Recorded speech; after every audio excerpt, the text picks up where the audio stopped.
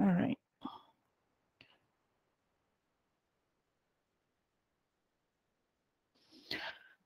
Okay, uh, so today, right, uh, kita akan masuk topic 4. So once we are done with topic 4, that means uh, we can proceed with the group assignment. Lah, eh? Your group assignment is uh, from um, chapter 2, 3 and 4. So you have three chapters for your um, group assignment. Okay. Alright, uh, next week insyaAllah kita boleh masuk group lima, uh, group lima pula, sorry. Uh, kita boleh masuk topik five. Okay, that's the first topic yang akan masuk untuk your PSPM. Alright. So nanti madam akan um, madam akan bagi kerja. Uh, InsyaAllah, uh, next week I'm going to give you the, your uh, another set of photo stated notes which is your additional question and also your PSPM past years questions. So maksudnya cuti seminggu uh, ada kerja lah. Huh? Right? Okay. So uh, this is topic four. Okay. Uh, it's CVP, cost volume profit analysis. Okay. Atau kalau dalam bahasa Melayu kita panggil uh, titik pulang modal. Something like that. Is it? Oh no, titik pulang modal is break even point. Yang ni ialah uh, cost volume profit is what lah? Entahlah, saya pun lupa dah.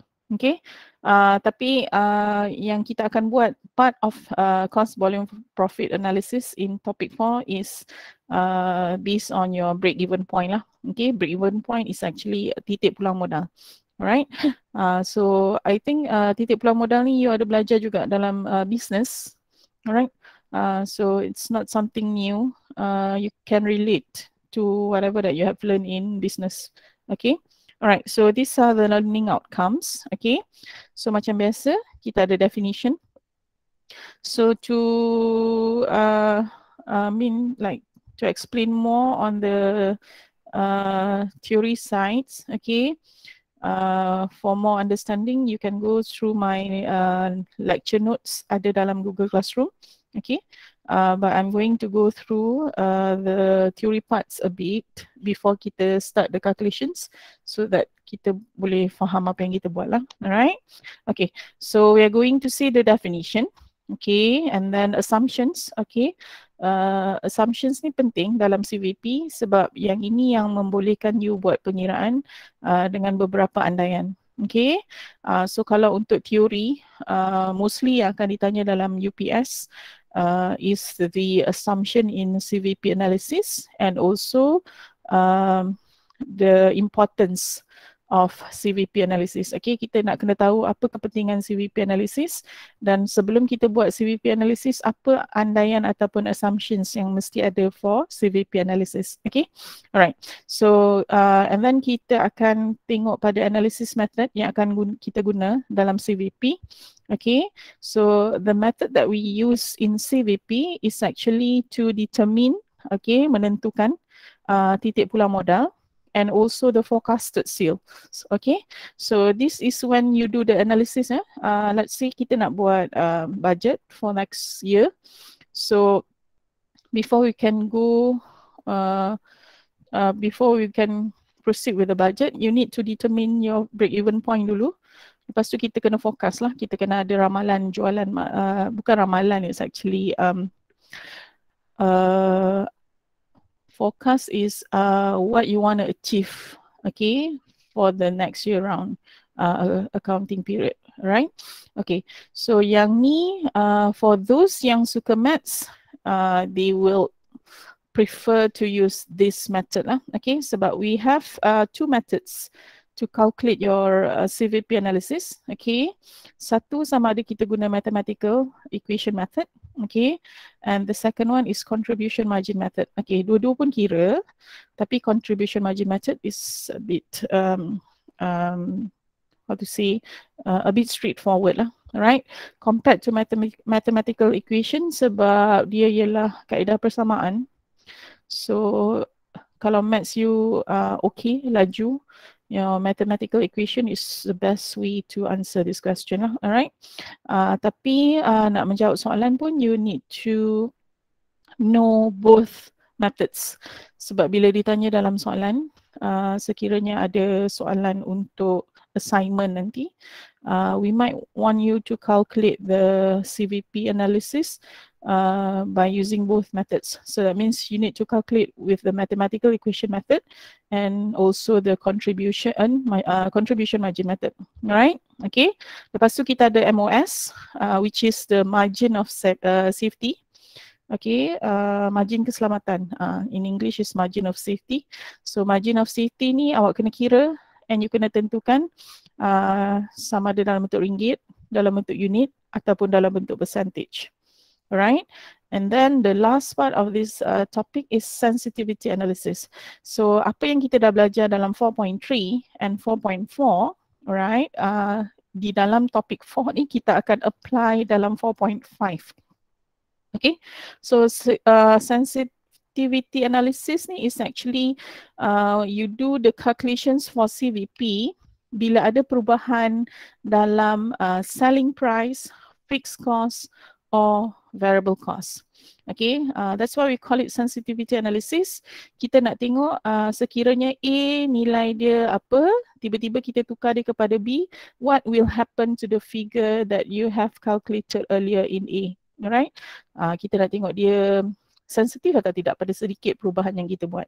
Okay, so perubahan tu boleh berlaku it's either uh, by changing the selling price the fixed cost or the variable cost. That's why you need to really understand topic three sebab kita nak tengok kesan uh, sensitivity analysis by change uh, by changing the fixed and also the variable cost. Right? Okay. Uh, so kita tengok definition dulu. Okay, uh, CVP analysis is actually a process to examine the behavior. Okay, kita nak tengok kesan uh, perubahan dalam total revenue, total cost and operating income.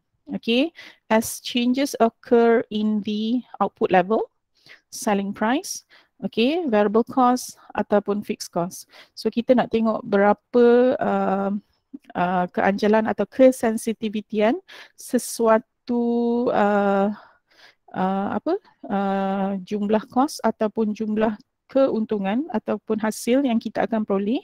Okay, uh, bila berlaku certain certain changes in your selling price, variable cost, uh, fixed cost and also your level of output. Okay, so kenapa CVP ni penting? Alright, uh, there are five importance of CVP. Okay, okay. Satu CVP penting sebab kita nak tentukan sales level at BEP. Alright, okay. So BEP ni is actually a break even point. Dia adalah pertembungan ataupun titik di mana your total sales is equals to your total cost. Okay, that means your total revenue is equals to total cost. So di situ your untung is actually kosong sebab jumlah cost kamu bersamaan dengan jumlah jualan. Okay, so bila jumlah cost sama dengan jumlah jualan, you tolak memang you akan dapat kosong lah. Okay, so uh, why you need to uh, uh, use the CVP analysis? Okay, sebab kita nak tengok di mana sebenarnya yang kita perlu jual supaya kita dapat balik semua modal kita. Okay, sebab you bila you uh, forecast your sales for next year, kita tak nak jual tapi kita rugi kita nak jual at least pada satu titik, kita nak kena tahulah pada satu titik di mana kita dapat balik modal kita. So kita tak tanggung sebarang rugi dan tapi uh, BEP is where you don't uh, get any profit at all. Okay, so in order to uh, forecast your sales for next year, you must make sure your sales is above your BEP mestilah atas daripada titik BEP tu. That's why BEP is very important supaya kita tak nak rugi dalam dalam forecast. Okay, uh, for your next year's uh, sales. Okay, so uh, CVP is also important. Okay, sebab kita nak tentukan jualan. Okay, yang kita perlu kalau kita nak achieve profit target. Sebab setiap perniagaan dia ada target nak di uh, dia ada target sales untuk next year. Okay, so the year after pun semua dia ada target. So in order to achieve that target, kita kena tentukan dulu berapa nilai jualan. So how do you get the sales requirement? Uh, you akan guna CVP analysis lah.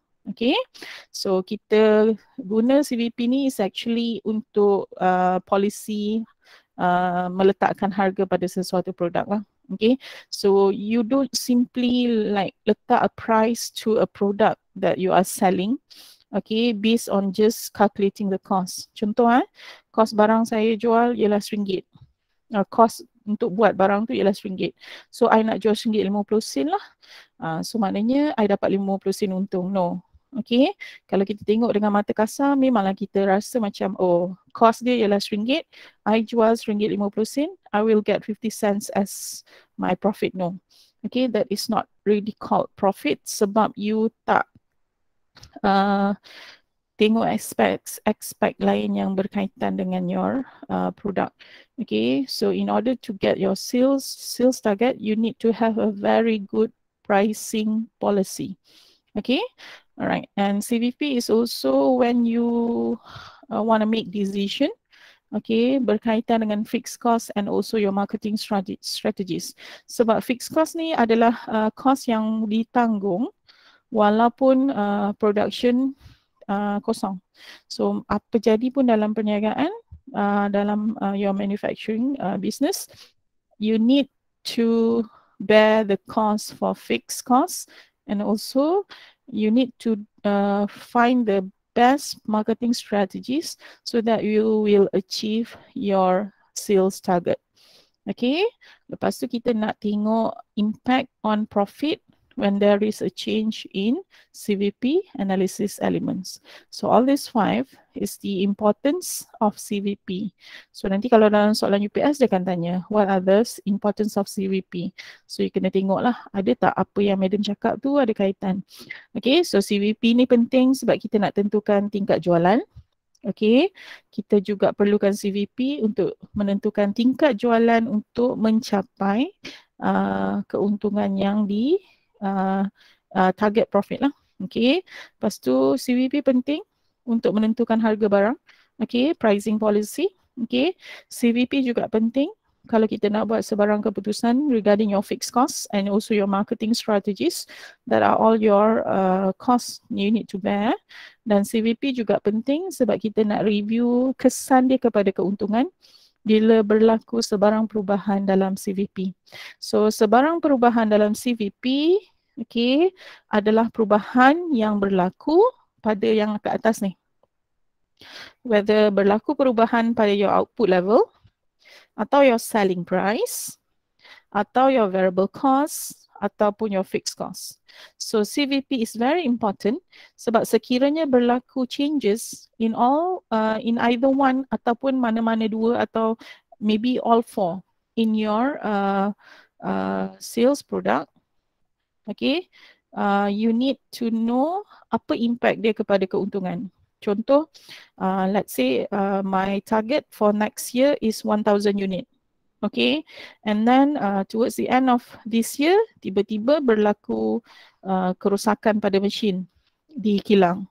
So you need to buy a new machine in order to proceed with the manufacturing uh, uh, of the product. So bila kita tambah cost pada mesin tadi, Okay, that means berlaku uh, perubahan. Okay, so machine tu nanti dia akan effect. Mungkin dia akan effect your uh, output level. Dia juga akan effect your variable cost per unit and maybe dia juga akan effect your fixed cost uh, for a product. Okay, so whenever there is changes in all uh, the four items yang Madam sebut tadi tu, dia mesti akan ada kesan ataupun impact pada profit. So that's why you need to do the CVP CVP analysis. Okay, so yang uh, topik 4 ni kena baca sikit, kena bagi faham betul-betul lah. Alright, okay. So before you do the CVP analysis, kita kena ada andaian. Okay, uh, kenapa andaian ni penting? Sebab andaian ni nak pastikan um, you boleh kira uh, apa yang you nak kira dalam CVP. Okay, okay. andaian yang pertama is the unit sold uh, equals to the unit produced. Okay, so this is very important. Sebab kita faham in actual uh, production, there must be a beginning inventory and also ending inventory. Okay, so bila ada beginning inventory and ending inventory, whenever you want to use uh, CVP analysis to calculate your target sales, target profit and all, benda tu kena ambil kira. Tapi dia akan menyukarkan anda untuk buat kiraan sebab tu kita buat andaian, okay, dalam CVP, uh, whatever that we produce will be totally sold. Maknanya kita akan jual 100%. So kalau kata you tak diberi um, maklumat tentang unit produce, kita boleh guna maklumat unit yang dijual, your sales unit. Okay, so that's why you need to understand the assumption. Okay, lepas tu cost and revenues are linear. Okay, linear tu apa maksud dia? Lurus. Okay, so dia berkadaran lah, alright.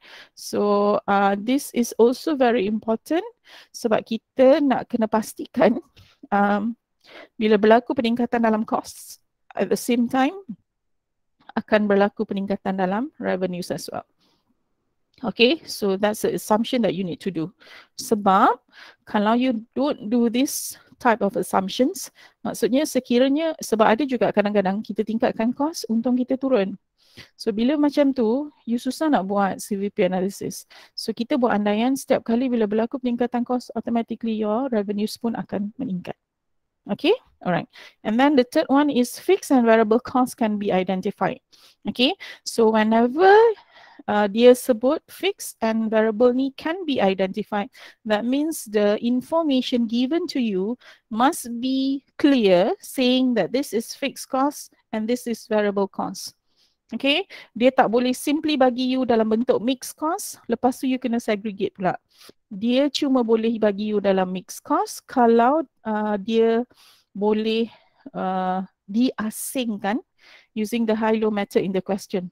Okay, so let's say dia cuma just bagi one level of uh, production and the cost is in a form of mixed cost. So I cannot segregate the mixed cost into fixed or variable. So bila benda tu berlaku, saya tak boleh kira CVP analysis. So yang that information is no not good for my CVP analysis. So setiap kali bila dapat soalan nanti, dia mesti clear state this is fixed cost and this is variable cost. So you can identify both. Okay, you don't need to do the segregations. Lepas tu kita boleh terus terus kira. Okay, and then the selling price is fixed. Okay, uh, maksudnya dekat sini dia tak nak uh, selling price yang fluctuate. Okay, contoh sebab kadang-kadang uh, macam dekat Malaysia kan, uh, minggu ni dia kata harga ayam turun. Tiba-tiba minggu depan harga ayam naik balik. Lepas tu harga ayam turun balik. So ayam tu pun tak tahu sama dia nak naik ke atau dia nak turun. So that one is not good for your CVP analysis. Okay. Uh, CVP analysis that means kita dah fixkan dia satu harga. Dengan andaian harga itulah yang akan digunakan untuk keseluruhan uh, apa forecast yang kita nak kira. Okay, walaupun mungkin ada berlaku perubahan-perubahan semasa kita buat forecast tu, tapi we still use the assumption that the selling price is fixed. Okay, so all this four, okay, is your assumption before you do CVP analysis. So sekiranya kamu diberi harga, ah, itulah harga yang you akan guna. Kalau you diberi cost dan revenue, you kena tengok dia punya relation. Betul tak dia linear? Okay, lepas tu bila you nak kira, you boleh jumpa tak fixed cost? You boleh jumpa tak variable cost? Okay, and then can you find the unit produce? Okay, uh, kalau dia bagi sales unit, I know my sales unit is actually my unit produce. Kalau dia hanya bagi unit produce saja, saya faham sebab this is CVP, that means that unit produce is also my unit sold. Okay, alright, so that is for assumptions lah. Alright, uh, yang ni uh, kita kena faham. Okay, sebelum kita buat pengiraan. Okay, uh, bila you guna CVP analysis, uh, kita akan kira ataupun tentukan break even point. Okay, so what is break even point? Uh, kalau dalam bahasa Melayu dia is TPM lah, bukan timbalan Perdana Menteri ya. Ini ialah titik pulang modal. Alright, so what is titik pulang modal of EPP? Uh, it's a situation kalau kita buat dalam bentuk graph, graph you tu akan bersilang, dia akan cross. Okay, so the dot yang dia cross tu, uh, graph tu dia macam ni. Okay, so dot yang dia cross tu, okay, akan jadi titik pulang modal. Alright, uh, sebab dia ada X and Y, right? So dia akan ada titik pulang modal dekat X and titik pulang modal dekat Y. Alright, so pada titik pulang modal ini for this uh, area, bukan this area, this point here, ini adalah keadaan di mana okay, your TR, your total revenue is equals to your total cost. Okay, total revenue di sini bermaksud uh, nilai jualan adalah hasil. Okay, sebab kita kena faham sekarang kita ialah kilang you are a manufacturing company. So when I whenever I say uh, total revenues, dia sebenarnya merujuk kepada jumlah jualan kamu, your total sales. Okay, so your total revenue equals to total cost. That is where you uh, reach your BEP. Okay, so pada BEP kita tidak ada untung dan kita tidak ada rugi. That means your net profit is equals to zero. Okay, tapi kita tak rugi, kita tak untung lah. So boleh tak nak jual pada titik BP? Boleh, tak ada masalah. Tapi kalau you nak kaya, you takkan kaya sampai bila-bila lah. Sebab semua modal yang you keluarkan tu adalah nilai yang you akan terima balik dalam bentuk jualan. So you don't cover, uh, you just uh, dapat sales tu untuk cover semua modal pengeluaran anda. Okay, you don't get your um, extra uh, revenue from that lah, you know, extra profit from there. Okay, all right. So at BBP, uh, BEP, sorry, BBP, brother. At BEP, uh, profits equals to zero. Uh, so that means your total revenue is uh, equals to, to to your total cost yang ini ada mention here.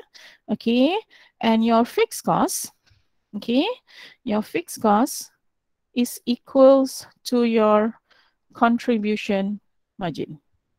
Okay, Uh, so apa dia contribution margin? Uh, nanti kita akan tengok lah. Okay. So you kena faham yang ya. At BEP ada dua keadaan. Satu keadaan ialah TR equals to TC. And the other situation is your fixed cost is equals to your contribution, contribution margin. Okay, so it is very important for you to demonstrate the minimum level of sales that businesses need to get in order to avoid losing. Okay, kenapa kita perlu ada BEP ni? Sebab saya tak nak rugi. Okay, so macam mana saya nak tahu saya tak akan rugi? Saya kena cari titik pulang modal. So kalau saya tak nak rugi, saya tak boleh jual di bawah titik pulang modal saya tu. So that means if your total revenue dekat situ ialah seribu unit. So kalau madam tak nak rugi, madam kena jual sekurang-kurangnya seribu unit. Ha, so I tak rugi. Kalau I nak untung, ha, kalau you nak untung, you kena jual atas seribu unit. Kalau you nak rugi, ha, jual lah 999 unit. Okay, so bila you jual 999 unit, even though beza dia satu unit saja, okay, because it is below your BEP point, automatically you akan dapat rugi. Okay, alright. So kita tengok calculations. Okay. Uh, so this is uh, using mathematical equation method. Eh? Alright untuk yang nak guna, boleh guna, tak ada masalah. Alright. So if you are using mathematical equation method, okay, uh, you kena tahu ya, kita terbitkan this formula based on TR equals to TC. Okay, so if you want to calculate BEP, you must make sure uh, your calculation is based on TR equals to TC, total cost. So apa dia total cost? Total cost di sini ialah total fixed cost plus total variable cost. Okay. Or kita tahu revenue ni ialah harga jualan darab unit jual. So you akan dapat your sales revenue. Eh? Okay. So uh, yang ini pula kalau you tengok dekat sini total fixed cost plus variable cost per unit. Okay, you kena faham betul-betul lah. Bila kita guna formula ni, total cost sebenarnya adalah jumlah total lah, jumlah fixed cost tambah jumlah total eh variable cost bukan per unit. Tapi macam mana kita dapat total variable cost? Kita dapat total variable cost apabila kita darab variable cost per unit dengan unit jualan, sales unit. This SU is sales unit lah, bukan setiausaha. Okay, and your revenue kat sini, kita faham revenue tu maksudnya berapa unit yang saya jual darab dengan harga seunit produk. So that's why my sales price darab sales unit. Okay, so ini the expansion of the equation lah. So bila kamu dapat information nanti, how do I get total revenue equals to total cost? Saya akan gantikan dalam persamaan and I akan cari, uh, mesti orang tertanya kan, Madam, nak cari apa dalam persamaan ni? Uh, inilah yang kita akan guna dalam sensitivity analysis nanti. Mungkin dia akan uh, hilangkan jumlah uh, variable cost per unit atau dihilangkan jumlah total fixed cost atau dihilangkan jumlah sales unit tapi kita guna formula ni untuk cari item yang missing. Okay, alright.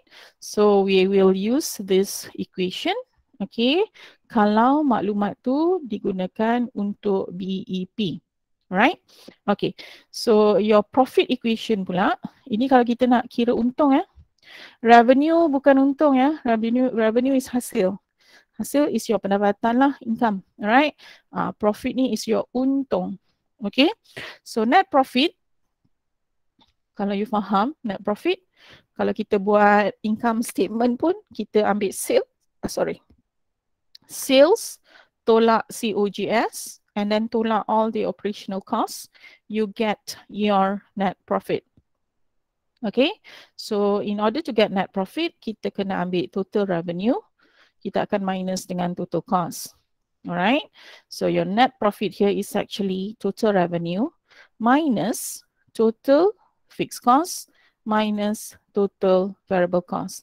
Sebab dua ni, kalau yang ni ada bracket, ni akan jadi plus lah. Okay, tapi kalau dia tak ada bracket, that means kita minus terus lah. Okay, that's how you get your total uh, profit. Okay, alright, apa dia ialah total revenue? Okay, daripada atas tadi kita tahu total revenue tu is actually kita ambil sales price per unit, kita darab dengan sales unit. Okay, dan total fixed cost ni bila kita minus dengan total variable cost, variable cost ni datangnya daripada variable cost per unit darab sales unit. Okay, so you kena pandai guna pakai uh, equation ni baru awak boleh kira apa saja yang diminta dalam soalan. Okay. Alright. So this is your mathematical equation. Okay. So kita nak tengok example one. Alright. Uh, Sky Park Holdings produces a kind of product. Okay. Dia tak nak bagi tahulah. Bukan produk yang baik eh. Uh, sejenis produk. Okay. Uh, macam pelik je ayat ni kan. Alright, so it produces a kind of product. So each unit is sold at RM 4 ringgit. So this is the selling price. This is your SP ya, eh? selling price. Okay, so bila you dapat soalan untuk BEP, you kena tagging lah. Item ni represent apa? Baru saya boleh boleh kira. Okay, so each unit is sold at 4 ringgit the fixed cost is 600 per month and the variable cost is estimated at 2 ringgit and 50 cents per unit. Okay, alright. So sekarang ni kita hanya kira untuk sebulan sebab dibagi untuk per month. Eh? Tapi kena tengok juga kalau soalan tu kata you need to calculate the break even point for the whole year. Okay, untuk sepanjang tahun, your fixed cost ni awak kena darab dengan 12 dulu ya. Sebab you nak kira untuk sepanjang tahun. Variable cost saya tak payah kira. Sebab variable cost tu dia berubah ikut unit pengeluaran. Tapi fixed cost setiap bulan dia uh, RM600. Kalau I nak kira BEP untuk setahun, saya akan darab dengan 12. Tapi sebab saya nak kira untuk sebulan, so I can just use the information given which is 600 per month. Okay? Alright. So dia suruh kamu kira BEP. Okay, BEP ialah keadaan di mana total revenue is equals to total cost. Okay, so total revenue di sini bersamaan dengan sales. Alright, and then your total cost ialah fixed cost plus variable variable cost. Alright, okay, so sekarang ni saya nak kira BEP. Tapi saya cuma ada sales price but I don't have my sales unit. Okay, tapi I boleh guna persamaan BEP ni so that I can calculate my sales unit. Alright, so sekarang ni kita tahu sales is equals to fixed cost plus variable cost. Okay, I don't know how much is my sales unit. Yang information yang madam ada ialah hanya RM4 darab sales unit. Ah itu akan memberikan saya jumlah untuk sales. Okay, alright. I do have the information on my sales, uh, on my fixed costs, uh, but I don't have the information for my sales unit. So fixed cost saya boleh letak sini 600. Okay, tetapi untuk variable cost, variable cost ni is total ah. This is not variable cost per unit. Sebab tu bila you jawab soalan, madam sangat-sangat pentingkan you letak per unit atau tak per unit so that you know how to differentiate. Okay, so dekat sini yang dia nak cari ialah variable cost. That means total setelah didarab dengan sales unit. But unfortunately in this question, your sales unit are not given. Okay, so kita tak tahu nak kira sales unit berapa ni. So sekarang ni nak guna persamaan ini untuk kira sales unit. Okay, eh? alright. So now you dah gantikan RM4 darab sales unit equals to 600 tambah 2.5 ring uh, RM2.50 sales unit dia RM2.50 ya, bukan 2.5. So make sure ada kosong kat belakang. Uh, your topic 3 punya tutorial hari tu, ramai yang letak 2.9, 2.9. 2.9 is actually salah eh. Sebab dia ialah RM2.90. Dalam ringgit Malaysia tak ada 2.9. Okay. Madam dah ingatkan hari tu kan jawapan awak mesti dalam bentuk ringgit. So please jangan bagi jawapan yang tak ada uh, ni lah okay? Unless it's in your calculations eh? Calculations are a different uh, thing. Okay so now saya dah tolak eh? Okay? So it's 1.5 times sales unit equals to 600 okay? So ini saya dah uh, ringkaskan persamaan tadilah this 2.5 ada bawa pergi sini. So RM4 tolak RM2.50 is equals to RM1.50 darab sales unit. Dia masih darab sales unit eh. Equals to 600. So boleh tak nak kira sales unit sekarang berapa? So kalau saya nak kira BEP, okay, BEP ialah di mana keadaan total revenue saya bersamaan dengan my total cost. So my sales unit is actually 600 divide by seringgit lima puluh sen.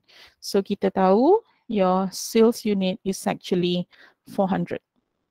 Okay, itu kalau madam nak cari BEP in unit. Kalau saya nak cari BEP in RM, break even point in RM, that means unit sales tadi tu saya kena darab dengan harga jual. Okay, so my harga jual saya tahu dalam soalan ialah RM4. I akan darabkan this 400 yang saya dapat tadi. So, break even point is 1600. So, kalau kita buat graph, alright. So, you have your TR, NTC. So, this is BEP. Okay, yang ni ialah unit, yang ni ialah cost. So, BEP dekat sini, ini ialah 400 yang ini ialah 1600. So this is your break even point in RM. So kalau you salah kira untuk sales unit, automatically your BEP in RM pun akan salah lah. Okay. Alright, so far ada apa nak tanya? Ada? Tak ada. Still trying to digest, right? Okay, kita proceed. Okay, now dia suruh, tadi dia suruh kira break even point saja. Okay, so now dia suruh kira macam mana saya nak tahu berapa unit uh, yang uh, sorry berapa keuntungan yang saya akan dapat how much is my net profit if I were to produce 500 units okay macam mana kita tahu kita akan dapat profit memang kita akan dapat profit lah sebab BEP ialah di mana saya tak dapat apa-apa kan that means my sales equals to my cost iaitu 400 unit so anything that goes above 400 units that means kita akan dapat untung kalau you jual bawah dari 400 unit, you memang akan dapat rugi. So now dia dah tahu dah kita dapat 400 je, kita memang dah balik modal, dah dapat balik all your uh, cost.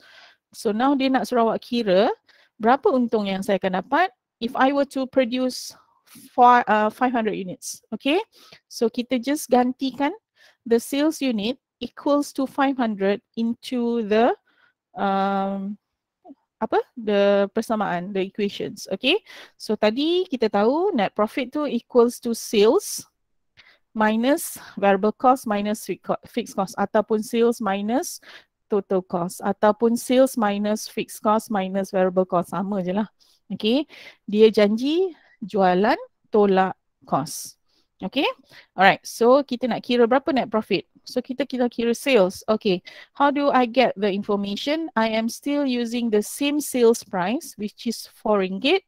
I am still using the same fixed cost. I am still using the same variable cost. Dia kata tak ada perubahan, masih sama. Okay, so now uh, you kena faham Question Roman 2 tak ada kaitan dengan Roman 1.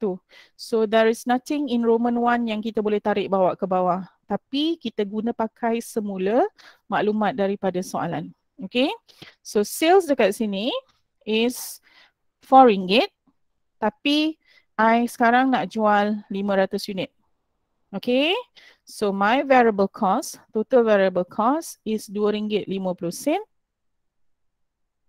darab 500 I get my total variable cost and then I minus 600 which is my fixed cost. Okay. So, saya akan dapat 2000 tolak 1250 tolak 600 and I will get 150. Okay, so maknanya if I were to sell uh, if I would if I were to sell okay sorry if I were to sell 400 units my total uh, my net net profit NP equals to zero. Okay, you sell 400, your TP dapat kosong. Tapi if you sell atas daripada 400, okay, you akan dapat uh, certain amount of net profit lah. Sorry, your net profit. Okay, so sekarang saya jual 500, I get the net profit of 150. Alah madam, sikitnya. Memanglah sikit sebab dia satu 100 unit je beza. So you nak dapat untung lebih kena jual lebih banyak lah. Okay, alright. So untuk equation ni, markah kamu, okay, markah kamu diberi di sini, di sini dan di sini. The first step when you uh, masukkan semua nilai yang berkaitan dengan formula. Okay, kalau saya tak tunjuk 2000 tolak 1200 tolak 600, boleh ke madam? Boleh, tak ada masalah. Okay, sometimes that area memang tak ada markah. Tapi, tapi, dengar eh.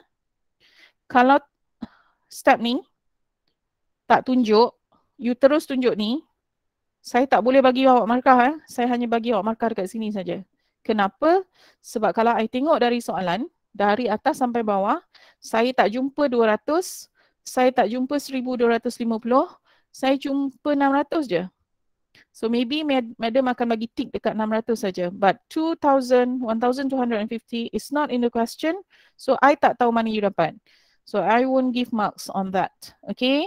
So you must make sure. Okay. For uh, CVP. Okay. Setiap kali kita gantikan nilai ke dalam equation. You need to show me one, one. Okay, lepas tu bila you expand tu tak ada masalah. You nak tunjuk ke tak tunjuk should be okay as long as dia ada the first step and then maybe you just can proceed to the total there. Okay, your 150. Okay, tapi the best way is tunjuk semua lah kan. Alright, okay so ini kalau saya jual 500 unit. Okay, I am still using mathematical equation. Boleh faham eh? saya belum tunjuk lagi contribution margin. Okay, alright. So now kita dah tahu kalau saya ubah sikit saja saya punya sales unit, I akan dapat net profit. Okay, so my net profit here is 100 and 150. Alright. Next, dalam soalan dia kata, uh, sekarang dia terbalik, dia pusing je. Dia dia dah bagi tahu you dapat profit 300 tapi dia tak bagi tahu berapa sales unit. So you kena cari what are the sales unit if your desire net profit is 300. Okay, you want a target. Okay, this is your net profit. Okay, this is your targeted net profit lah. Alright. So kita tadi kita tak tahu berapa untung. Tapi kita tahu berapa unit jual. Sekarang dia terbalik. Sales unit tak tahu. Tapi untung dah tahu dah. Okay, so maknanya oh, that's my target lah. I nak 300 lah untung, saya tak nak 150 je. So berapa saya nak jual? Okay, so we are still using the same equation and we are still using the same info dari soalan di atas. Bukan jawapan Roman 1, bukan jawapan Roman 2. Sebab tu kita kata 1, 2 and 3 are not related. And apa yang kita buat ni is actually sensitivity analysis. Eh? You ubah sikit, you cari benda ni. You ubah sikit, you cari benda ni. Alright? Okay. So what if you wanna get a net profit of 300? So how many units do I need to sell? Okay. So net profit kita tahu is equals to sales minus variable cost minus fixed cost. Okay. So net profit di sini saya tahu saya nak 300. Okay. So sales berapa? Sales saya cuma tahu harga tapi saya tak tahu unit. Fixed cost tahu tak? Fixed cost tahu. Masih kekal RM600. Variable cost tahu tak? Variable cost per unit saya tahu which is RM2.50 but my total unit for my variable cost saya tak tahu lagi. So kita ganti Okay, sebab sales tu is equals to 4 ringgit times sales unit. Variable cost tu equals to 2 ringgit and 50 times sales unit minus fixed cost 600. Okay, alright. Yang ni senang je. You pusing lah 300 ni bawa sebelah sini. Okay.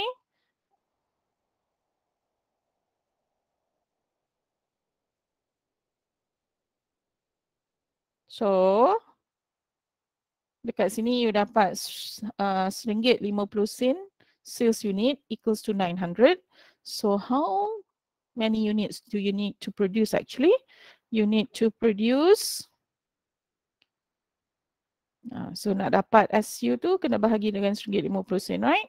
So sales unit is 600 units. Okay. So tadi kita keluarkan atau jual 500 kita dapat untung 150. So now I want to uh, to get a target net profit of 300. So how many units do I need to sell? I need to sell 600 units. Okay, so ini kalau kita guna mathematical equation. Alright, okay, so this is for method satu, kaedah satu.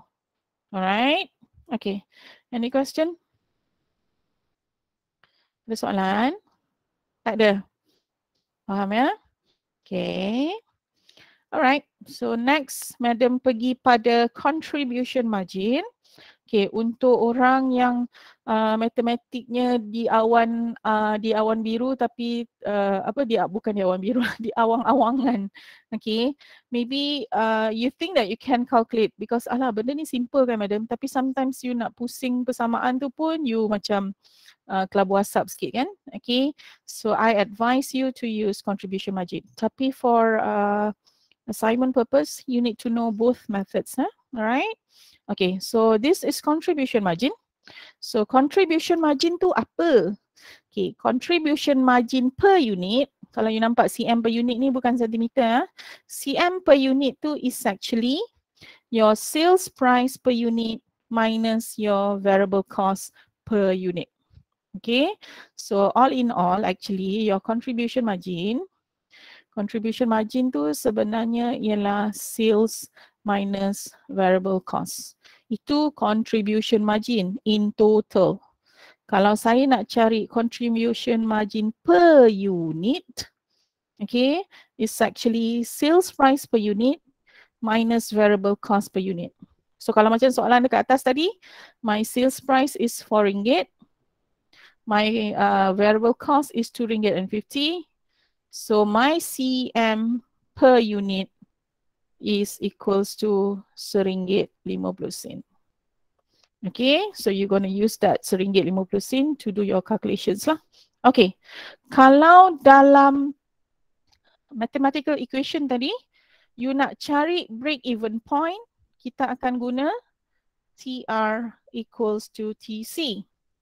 Tapi kalau saya guna contribution margin, your BEP is actually fixed cost minus CMU.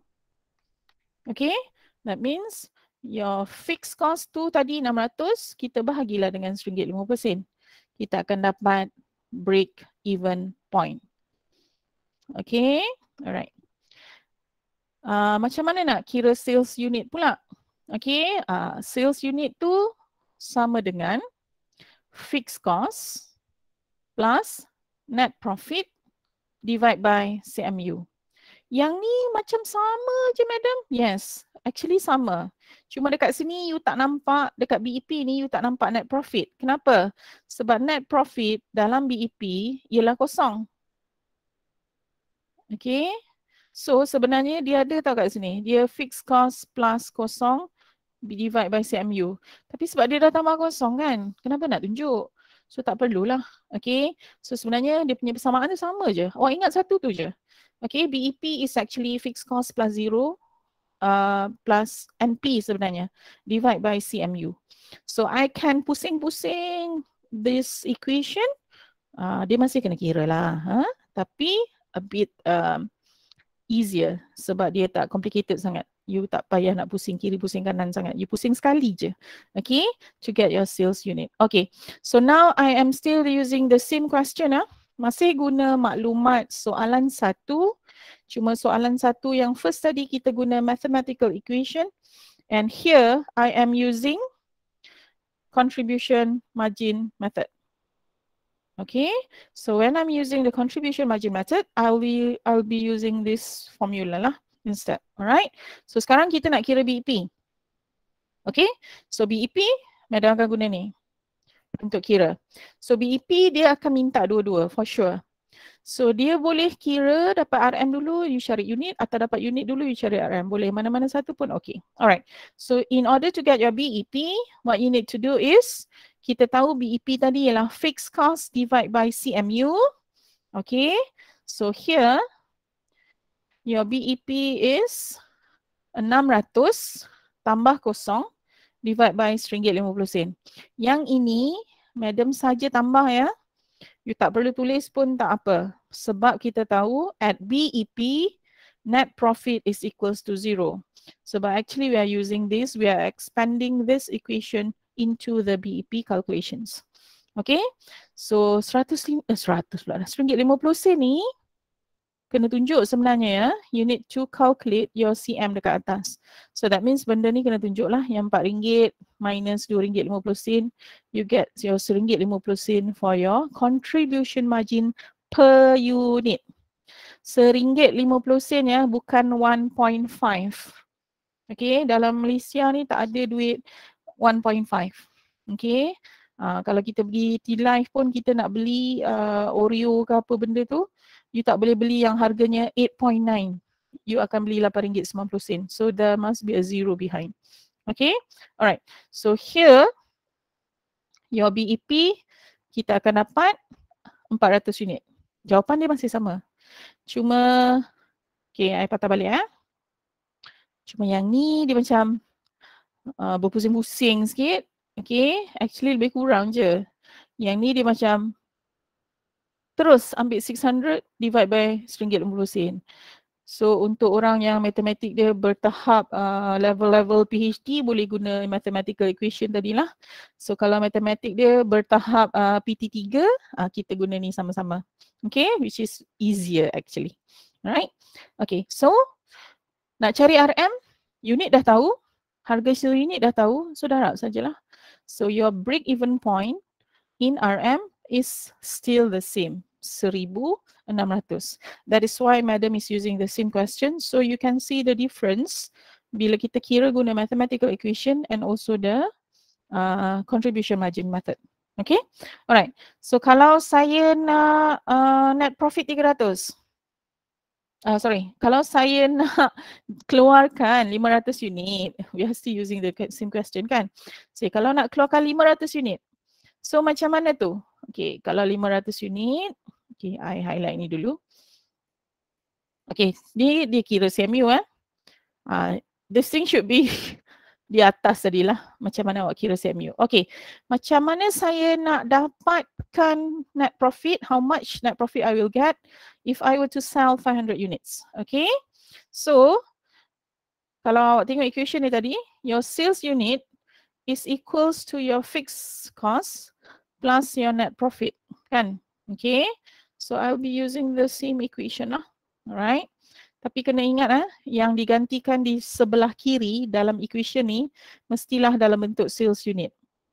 Kalau dalam soalan dia bagi kamu sales total, you kena bahagi dulu dengan harga unit so that baru you boleh ganti dalam bersamaan. Sebab di sini kita guna sales unit ah, bukan sales total ataupun total revenue. Okay. Okay, so fixed cost is 600 Okay, your targeted net profit tak tahu tu yang kita nak kira sekarang. Okay, lepas tu kita bahagi RM1.50. That is your CMU.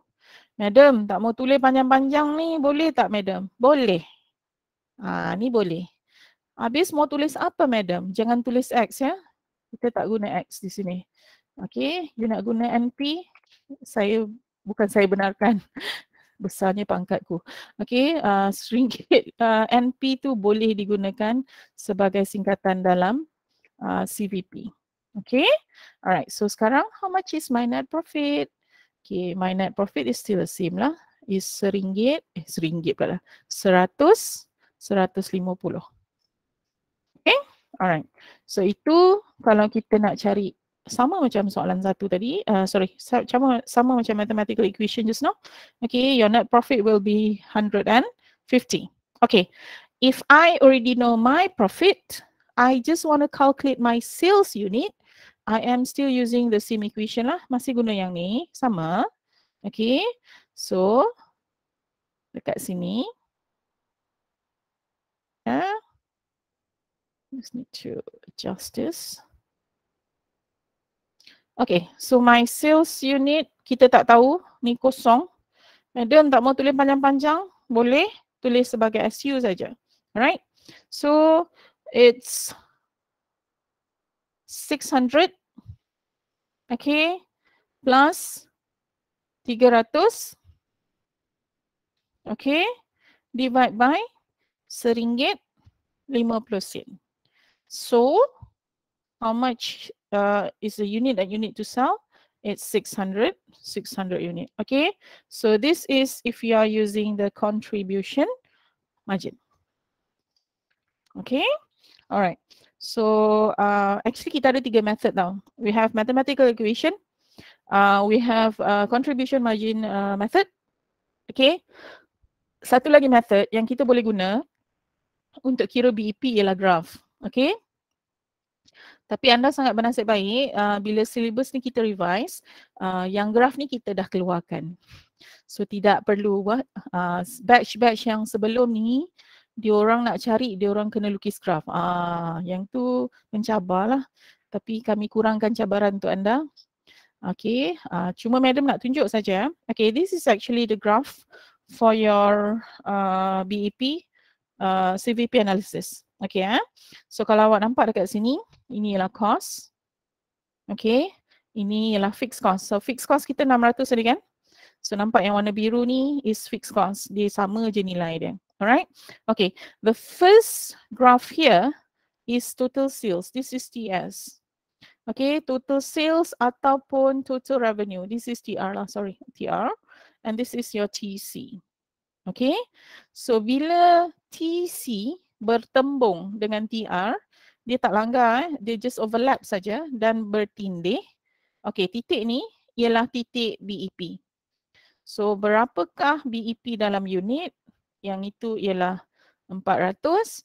Berapakah BEP dalam RM? Itu ialah 1600. Ini ialah apa yang kita kira tadi. Okay, alright.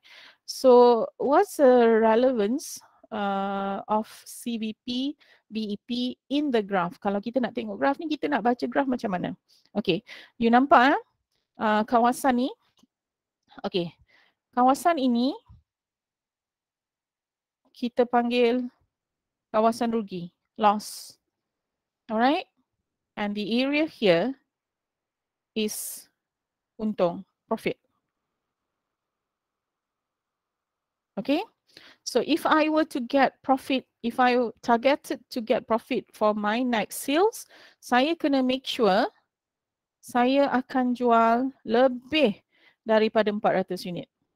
Sebab if I were to sell kurang daripada 400 unit, my uh, income tu, my total revenue tu dia akan fall to this area. So bila dia fall to this area, dia akan jadi rugi. Sebab tu kalau you nak untung, you must make sure you exit melebihi 400 unit jualan so that you will reach your profit area. Okay, uh, that's how kita tentukan uh, kawasan untung, kawasan rugi lah. Okay, tapi sebelum nak tentukan kawasan untung, kawasan rugi, kena cari dulu BEP. Okay, di mana total cost is equals to total revenue and your net profit is equals to kosong. Ini adalah keadaan yang berlaku di BEP. Okay, so kalau orang suruh tanya, macam mana rupa graf untuk CVP? Uh, ah, this is actually the graph. Kalau kita just like lakarkan saja, this will be your graph. Alright, okay.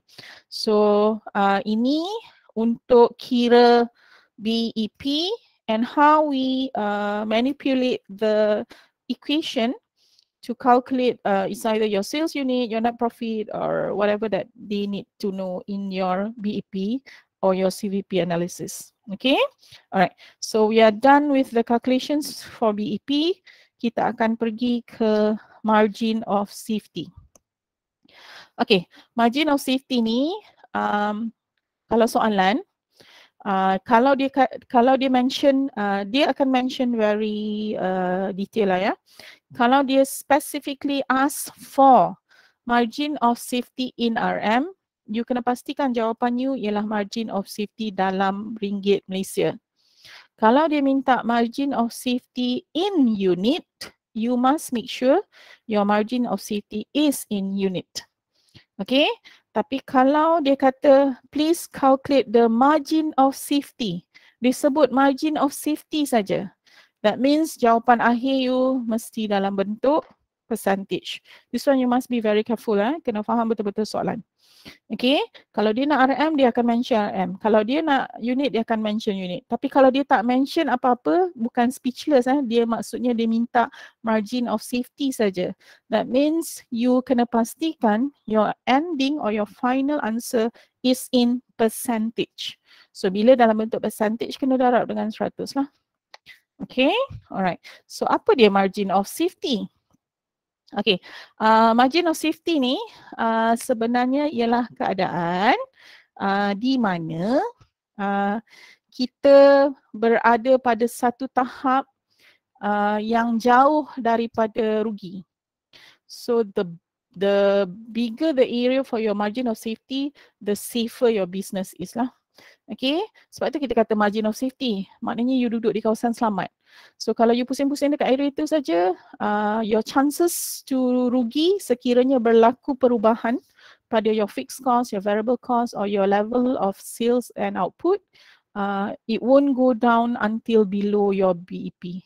Sebab tu you need to know besides knowing your BEP, okay, you kena tahu juga di mana ialah MOS. Sebab MOS ni akan bagi kita selamat lah. Sebab kita, bila the the further the MOS is, lebih selamat kamu uh, daripada uh, risiko kerugian. Okay, alright. Nanti madam tunjuk dalam bentuk graf. Alright. Okay, so ni kita tengok example dua. Okay, dalam soalan dia bagi sales on BEP ialah 15,500. Okay, so 15,500 tu bersama dengan 5,000 unit lah. So bila dia jual 5,000 unit, dia dapat 15,500 and that is the point when this business reach BEP. So maksudnya ini adalah keadaan di mana TR dia equals to TC and the net profit is equals to zero. Okay, alright. The actual sales. Okay, ini sales BEP dia.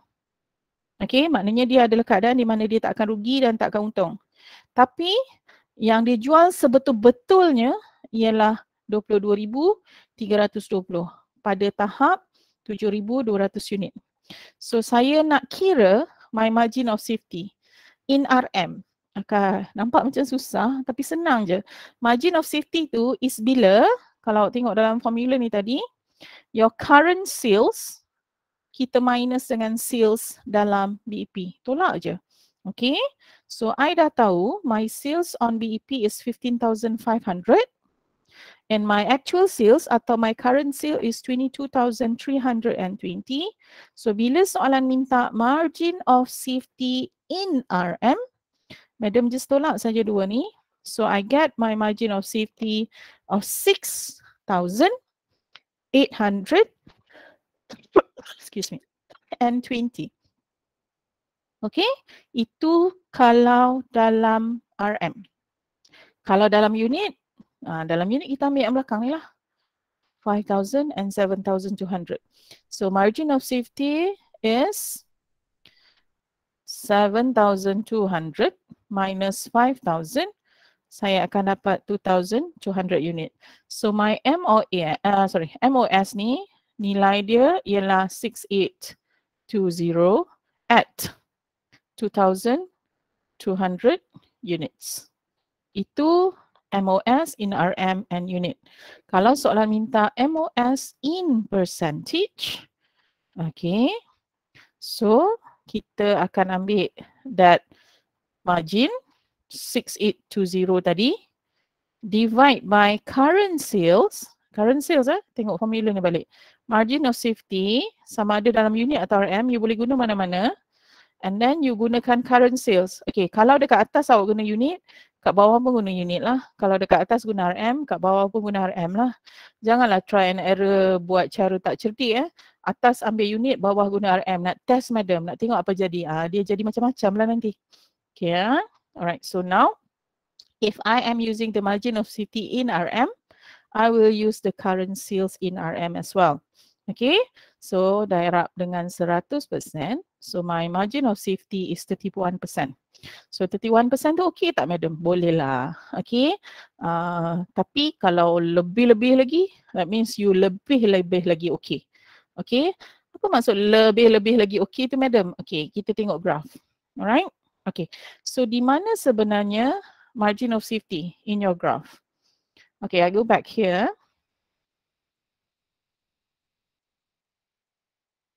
So awak kena faham actually margin of safety tu apa dan how do you avoid uh, having loss? Okay, so tadi kamu punya uh, BEP tadi, okay, let's say uh, we are using this question. Eh?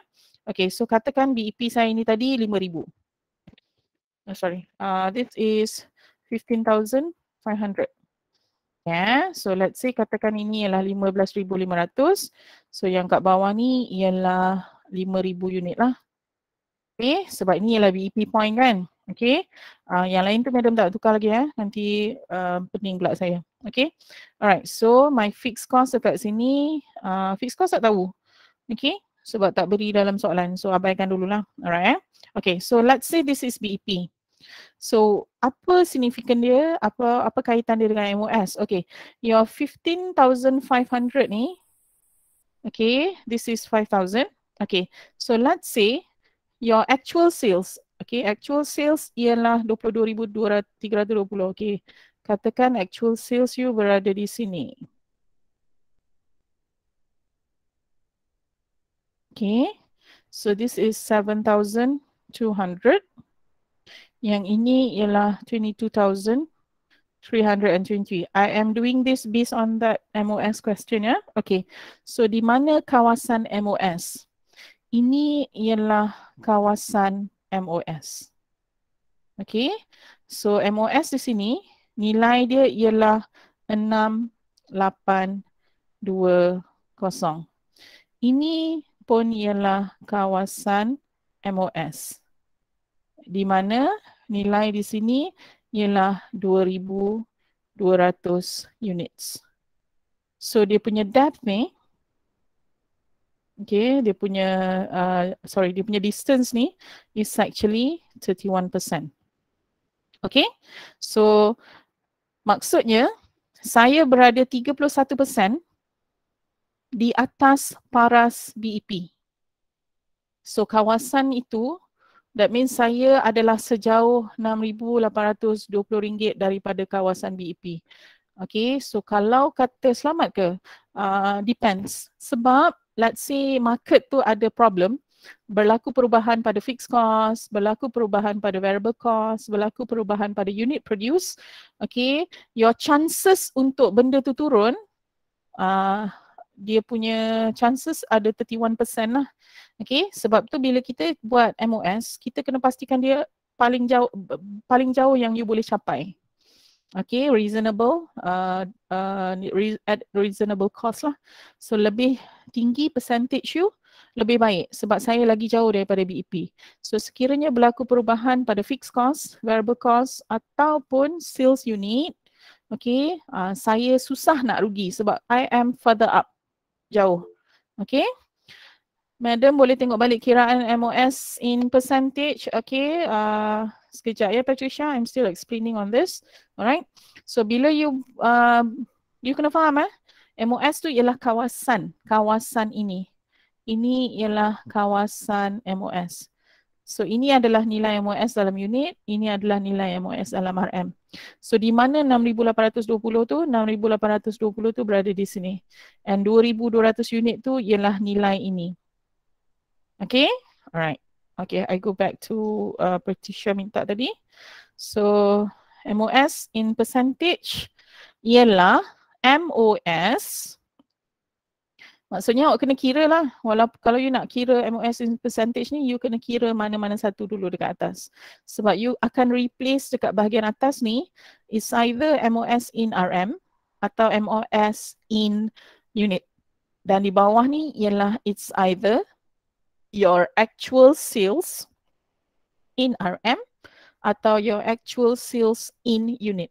So kalau kat atas ni unit, bawah pun unit lah dia punya unit tu kena setara ya. Kalau atas ni RM, bawah tu RM lah. And kita darab dengan 100%, you get 31%. Okay, so that is for your uh, margin of safety.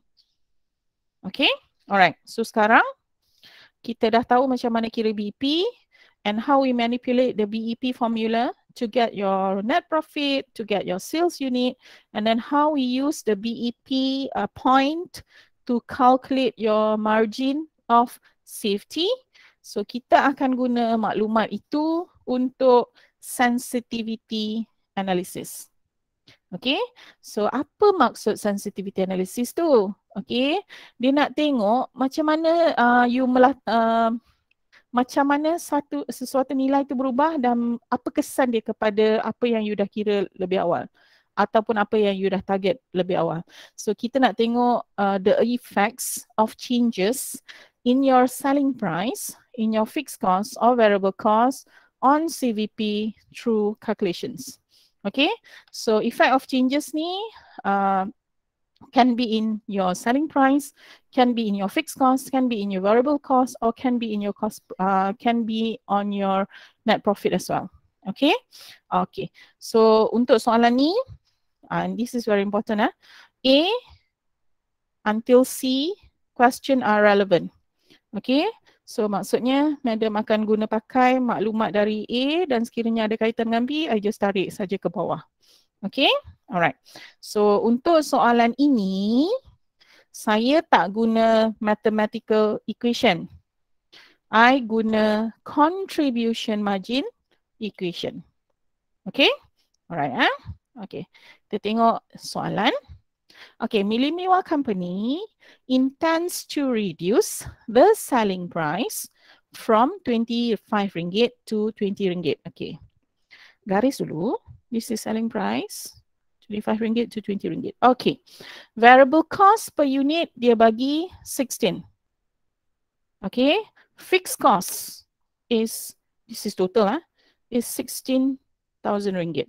So dia tanya how many units should be sold to achieve BEP itu satu situasi. Satu lagi situasi ialah and profit 15,000. So maksudnya you akan kira serentak lah. Okay nanti uh, nak kira untuk BEP dulu. Lepas tu nak kira nak dapat net profit 15,000. Okay. So untuk ini I need to take out the information first. Okay. My VC per unit ialah RM16. My selling price ialah 20 ha? Bukan 25. Sebab dia reduce. Okay, dengar betul-betul ha? Reduce from. Okay, reduce to. Okay, reduce uh, ada certain-certain terms dalam bahasa tu awak kena faham. Dia uh, bertukar kepada bertukar sebanyak uh, dia ada kesan yang berbeza pada soalan. Okay, alright. And your fixed cost here is RM16,000. Okay, so sekarang saya nak guna maklumat ini untuk kira BEP. Okay, saya guna contribution margin method. So kalau saya guna contribution uh, contribution margin method, I need to calculate my contribution margin per unit dulu. Ini kena tunjuk. Okay. So what is contribution margin per unit? Dah cakap tadi kan, contribution margin per unit ialah selling price per unit divide by, uh, sorry, divide by minus variable cost per unit. So your selling price tadi RM20 tolak variable cost RM16. So my CMU is RM4. So CMU yang dikira di atas ni, sebab dia dah bagi tahu eh dekat atas ni, this is the most important thing. You kena faham. Kalau soalan ni tak tulis A until C question are relevant, apa yang dikira di CMU dekat atas ni you tak boleh guna pakai dekat B, tak boleh guna pakai dekat C. You kena kira kira pula dah. Kira lain. Okay. Tapi sebab dia kata related, that means whatever that I calculate, calculated in A, I can use for B and also C. Okay, so sekarang CMU per unit is RM4. So macam mana nak kira BEP?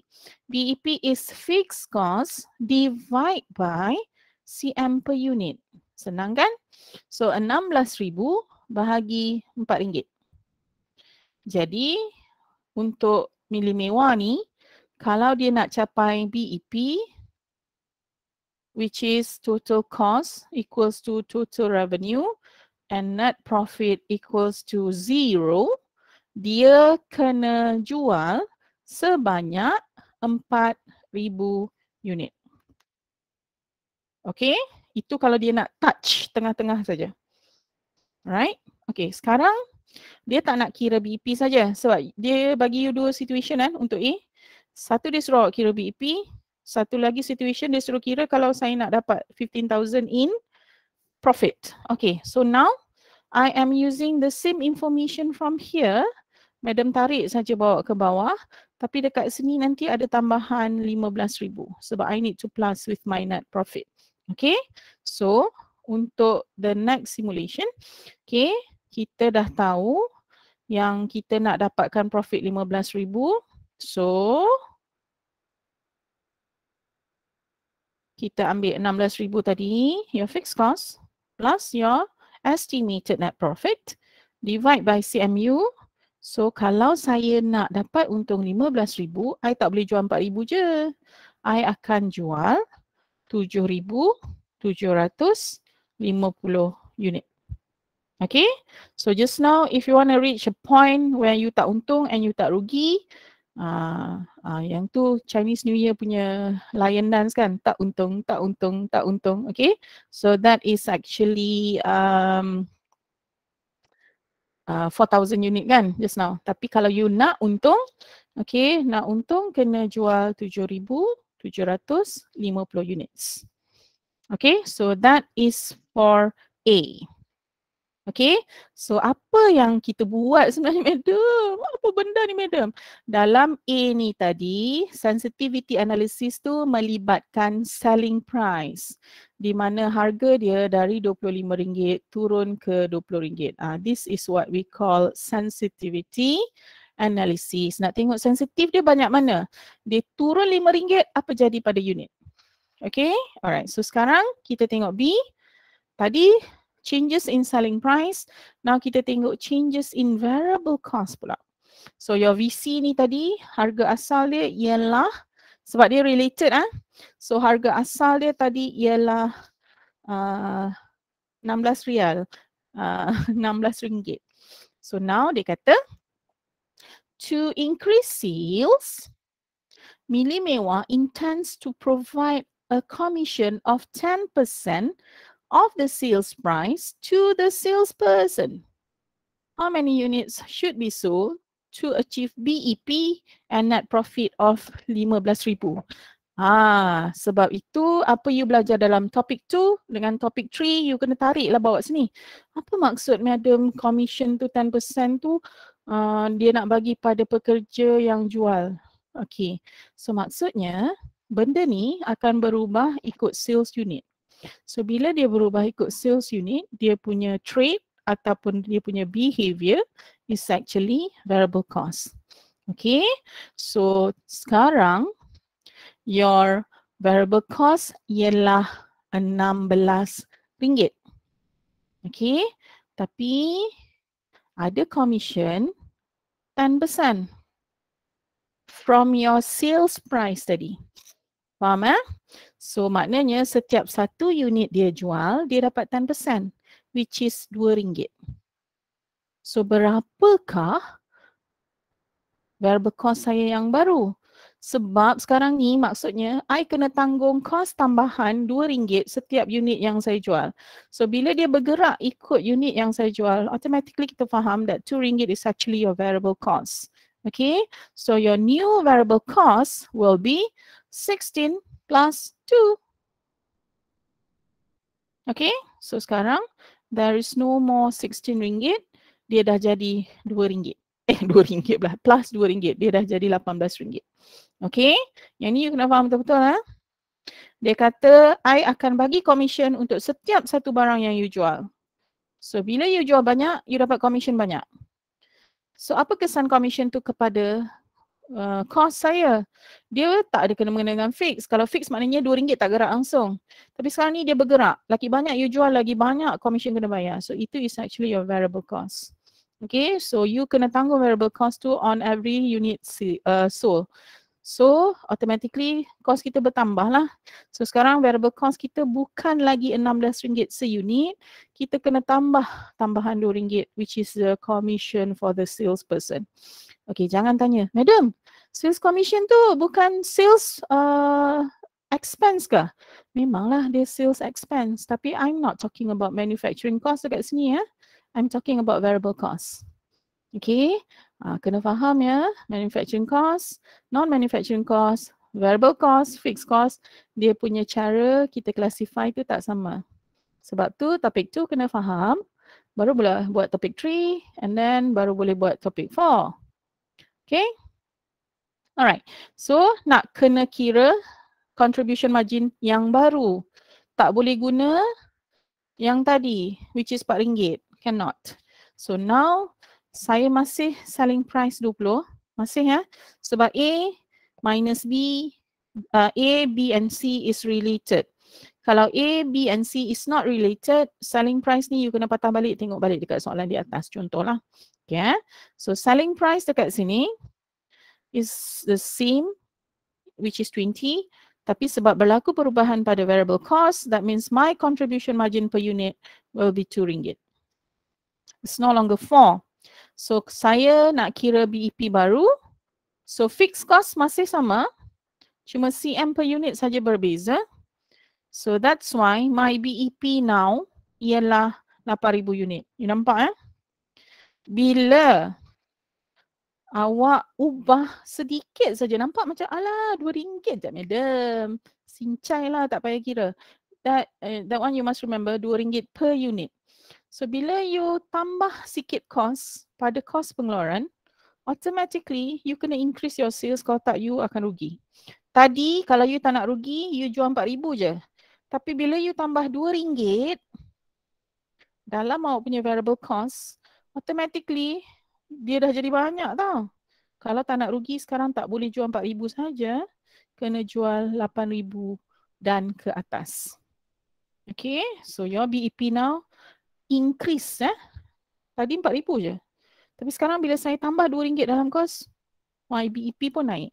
So this is what we call sensitivity analysis. So kita boleh nampak dekat sini eh. I turun harga tak ada kesan sangat. Tapi bila saya tambah sedikit nilai pada cost berubah, my variable cost, automatically my BEP akan meningkat dengan sangat banyak. Okay? Alright. So let's say I'm still using this information, tapi saya nak dapat net profit of 15,000. So just buat macam tadi lah. Alright. So I kena jual 15,000, 500 unit kalau saya nak untung 15,000. Tadi saya hanya jual 7750. Now I need to double up. Tambah RM2, automatically I need to double up my unit produce. Okay, so ini bila variable cost you berubah dari RM16 pergi ke RM18. Okay, alright. So the next sensitivity analysis ialah bila berlaku perubahan, kita tengok kalau berlaku perubahan dalam fixed cost. Okay, how big is the impact to your BEP and your sales unit? Alright, so now uh, dia tak akan bagi tahu eh, ni fixed cost ni kena, tapi you lah yang kena tentukan sendiri, ni fixed cost ke, ni variable cost ke. So kena baca soalan betul-betul, kena pandai uh, digest, kena pandai classify. Okay, so dia bagi tahu in order to increase sales volume, Milimewa company intends to make advertising expense of 5,000. So kalau baca advertising expense, advertising expense ni variable ke fix? Dia mestilah variable. Eh sorry, dia mestilah fix. Kalau dia variable maknanya setiap satu unit tambah RM5,000. Setiap satu unit tambah RM5,000. Sampai bila-bila pun kau tak akan kaya. Okay, so this is fix lah. That means it's a one of uh, apa uh, expense yang kita akan tanggung dan dia automatically akan jadi fixed cost. Dia tak bergerak-gerak. Nilai dia kekal RM5,000. Tak kira lah you jual banyak ke you jual sikit. Cost untuk advertising tu kekal RM5,000. So this is increase in your fixed cost. So how many units kalau saya nak achieve BEP dan nak make net profit of 15,000? So now I get a new fixed cost. Kira dulu. So fixed cost asal tadi dia bagi 16 je. Tapi now sebab I dah tambah RM5,000, so dia dah jadi RM21,000. Okay, kalau kita tengok, hmm, fixed cost ni naik banyak, mesti BEP pun naik banyak. Okay, iya ke BEP naik banyak? Okay, so kita tengoklah sekarang. Okay, eh? Okay, your sales unit for BEP, uh, contribution margin sama eh? Sama dengan mana madam? Sebab dah kata A, B and C is related. So dekat sini C dah kurang. Your VC dah turun jadi RM2. So I tak akan guna RM4 yang dekat atas eh. I akan guna RM2 ni bawa turun ke bawah. Okay. So my sales unit for BEP ialah RM21,000 bahagi RM2. So I kena jual RM10,500 saja. Okay. Kalau you tengok bila kita tambah RM5,000 dalam fixed cost, tadi asalnya my BEP is 7750 So now bila tambah 5000 madam hanya perlu tambah sedikit saja unit untuk get to the BEP point. So fixed cost sebenarnya tak beri kesan yang terlalu besar kepada um, BEP anda sebab dia kira macam one off punya cost. Dia tak bergerak ikut unit pengeluaran. So the impact to the cost is not that major lah. Alright. Berbeza dengan um, variable cost tadi, walaupun you tambah nampak sikit RM2 tapi kesan dia unit dia jadi double which is 8,000. Okay. So bila saya nak dapatkan sales unit, kalau net profit saya 15,000, okay. Yang ini 18,000 unit. Okay. So kalau BEP tadi, uh, kalau asal tadi is 7750, sorry. Yang ni 8,000 right? Okay. Kalau 7750, yang ni 18,000 units. Okay. Uh, sorry, sorry. BEP just now, uh, the first one was 4,000 unit, right? So dia tak increase banyak lah. Okay, alright. Okay, so ini kalau fixed cost berubah. Okay, so you nampak eh dekat sini madam buat tiga benda.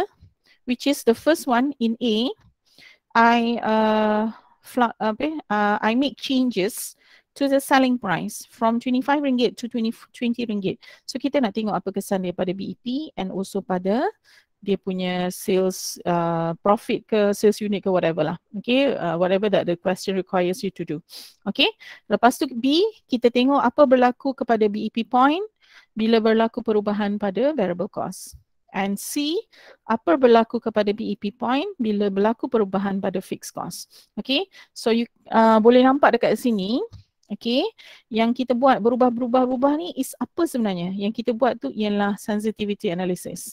Apa kaitan dia dengan BEP? Okay, kamu kena faham bila you dapat soalan untuk uh, question, uh, when you get the questions for topic 4, your main uh, purpose in answering all the question, the first thing that you need to do, kita memang akan jawab uh, situasi yang berkaitan dengan sensitivity analysis. Tapi before we can proceed with the sensitivity analysis, the first thing that you kena cari ialah BEP lah. Uh, BEP tu kena cari. Macam mana keadaan pun soalan mesti akan suruh you cari BEP. Sebab dari BEP tu baru kita boleh nampak sama ada kita untung ke rugi dan seterusnya. Okay, alright. So kalau soalan tanya, am I getting a profit or loss? You tak boleh jawab. You are going to get a profit. You are going to get a loss. You kena tunjuk dalam bentuk pengiraan.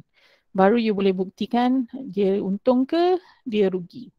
Okay, so sebenarnya dalam topik 4 ni, you boleh guna mana-mana method yang madam bagi tadi which is is either mathematical equation ataupun uh, contribution margin equation mana-mana uh, cara method pun boleh.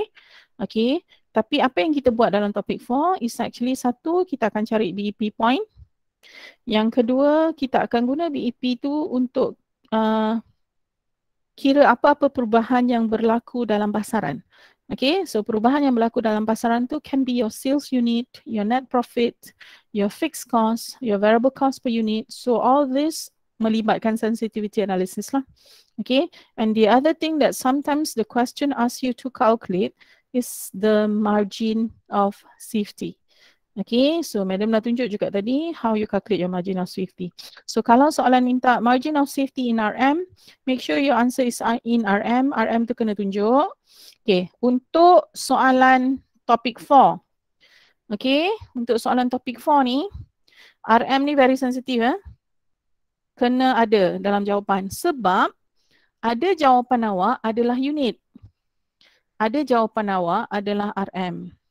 Kalau you just letak 18,000 je, saya pun tak tahu nak bagi markah ke tak bagi markah. Sebab I tak tahu 18,000 ni represent apa. So untuk topik 4, make sure answer you is very uh, prompt and detail. Kalau dia unit, mesti mention unit. Kalau dia RM, mesti mention RM. Kalau dia U, uh, RM per unit, kena tulis RM per unit. Kalau dia total, kena tulis dia total. Okay? Uh, sebab kalau awak tak differentiate your answers, Okay, sometimes you sendiri pun akan keliru. Okay, especially this part here lah. Alright. Uh, sebab ini represent sales unit sahaja. Unit sahaja. Contoh ya. Contoh. Okay. Contoh kalau kata dia suruh awak cari sales unit. Okay. Uh, you nak gantikan dalam persamaan. Dia suruh cari something some, uh, something here. Yang dia beri kat kamu ialah sales. You tak tahu sales unit berapa. Katakan sales ialah RM10,000. Okay. Lepas tu sales price ialah RM10. So sebelum you nak ganti maklumat ini ke sini, you kena pastikan you convert dia dulu jadi sales unit. That means you kena ambil RM10,000 tu bahagi RM10 dapat seribu, ah seribu ni baru boleh masuk sini sebab sekarang kita represent sales unit di sebelah kiri untuk contribution margin method. Okay, so nanti awak akan jumpa soalan di mana you tak da, tak diberi unit tapi you diberi RM. So you must make sure you gantikan dekat situ ialah dalam bentuk dalam bentuk unit. Okay, alright. Tada! Habis. Habis topik empat. Okay? Alright. So, um, you ada soalan satu, dua, tiga, empat, lima, enam, tujuh, lapan, sembilan. Okay. So, nak buat yang mana, madam? Ay, I bawa jawapan pula. Nak buat semua. Okay? Sebab topik ni nampak macam simple tapi once you start calculate nanti, bila awak kira nanti, nampak macam eh apa dia minta ni madam, macam mana nak start? Okay, so you need to do all nine so you can see the difference apa yang ditanya dalam setiap soalan. Okay, uh, and you have ample of time sebab kita akan discuss tutorial ni hari Isnin minggu depan. Okay, so you have ample of time to do lah. Right? So uh, please do all the questions for tutorial topic 9. Eh, topic 9 pula dah. Topic 4. Nine questions all together. Okay. And we will discuss the answers next week, Monday. Okay. Ada soalan nak tanya. Semua orang senyap-senyap je tak tahulah dia tidur ke, dia makan sarapan ke atau dia pergi toilet tapi dia biarkan phone dia on. So kawan-kawan dia dalam bilik pun boleh dengar sekali. Okay, any questions so far? Ada? Tak ada. Okay, uh, nanti I will share you the video. Okay, you please watch the video. You kena faham betul-betul lah soalan ni. Uh, sorry, uh, topik ni. Uh, sebab dia nampak macam simple tapi actually dia uh, menduga jugalah dia mencabar minda sebenarnya. Alright. So you please uh, go through my video and you please read your notes again untuk pastikan you faham lah uh, especially the theory parts, the uh, the assumptions and also the importance of CVP. Okay, so apa yang kita buat sebenarnya in topic 4? In topic 4 ni actually kita nak uh, try to um, set a target for our product. Okay, so in order to set a target for our product, the first thing that you need to do in your market uh, analysis is you need to find your BEP, break-even point. Okay, break-even point ialah keadaan di mana total revenue kamu bersamaan dengan total cost and you'll get net profit equals to zero. So you kena cari titik tersebut untuk pastikan kamu tidak rugi. Okay, alright, one more thing.